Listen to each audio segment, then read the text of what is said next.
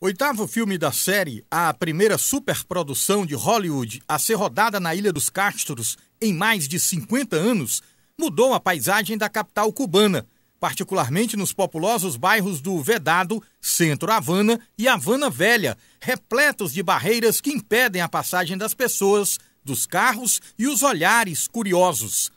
Os mais afetados pela presença das equipes de Velozes e Furiosos 8 foram, sem dúvida, os motoristas. Eles tiveram de transitar por vias alternativas por causa do fechamento de importantes ruas da cidade e de avenidas, como a emblemática Malecon, transformada em pista de corrida em um local onde esse tipo de situação não é nada comum.